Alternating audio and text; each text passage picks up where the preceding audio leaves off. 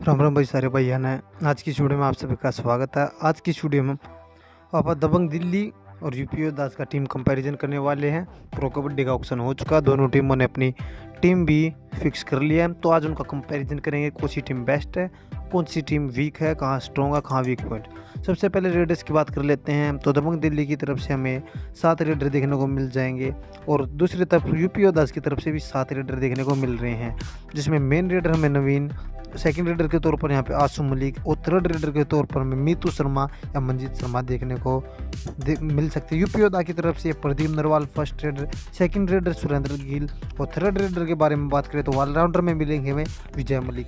Raiding department देखें तो UP योद्धा का हमें स्ट्रॉन्ग नज़र आ रहा है क्योंकि यूपी योद्धा के पास ऑप्शन है जैसे गुरदीप भी है और बहुत सारे ऑप्शन हैं लेकिन तब दिल्ली के पास ऐसे ऑप्शन नहीं है। अब बात कर लेते हैं डिफेंडर्स के बारे में। डिफेंडर्स के बारे में बात कर लेते हैं तो डिफेंडर्स यहाँ पे बारह डिफेंडर्स है दबंग दिल्ली के पास और छः डिफेंडर्स है केवल यूपी उदास के पास। क्योंकि दबंग दिल्ली के पास कोई ऑलराउंडर नहीं है। इसी में इनके मेन खिलाड़ी Sunil Narwa, Narwal right corner Vishal Bhardwaj left और इसी में जो नए खिलाड़ी कोई भी विशाल है, जैसे ये हो जाएँगे कवर के तौर पर।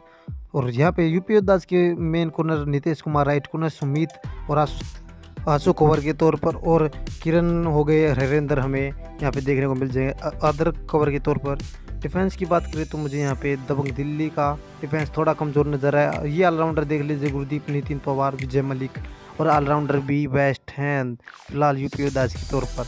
मुझे लग रहा है अगर ये दोनों टीम आपस में भिड़ती है सीज़न टेन में तो यूपी योदास बारी मार लेगी।